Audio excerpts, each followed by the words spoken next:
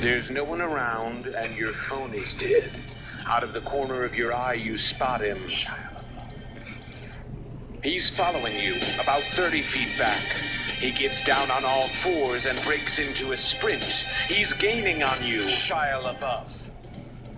You're looking for your car, but you're all turned around. He's almost upon you now, and you can see there's blood on his face. My God, there's blood everywhere. Running for your life. From Shia He's brandishing a knife. It's Shia LaBeouf. Lurking in the shadows. Hollywood superstar Shia LaBeouf. Living in the woods. Shia LaBeouf. Killing for sport. Shia LaBeouf. Eating all the bodies. Actual cannibal Shia LaBeouf. Now it's dark, and you seem to have lost him.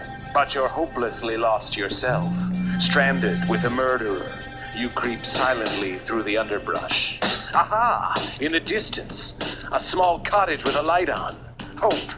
You move stealthily toward it. But your leg! Ah! It's caught in a bear trap.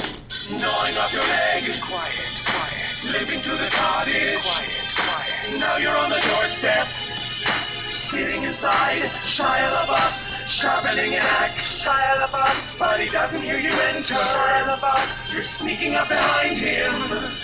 Strangling superstar Shia LaBeouf, fighting for your life with Shia LaBeouf. Wrestling a knife from Shia LaBeouf, stab it in his kidney. Safe at last from Shia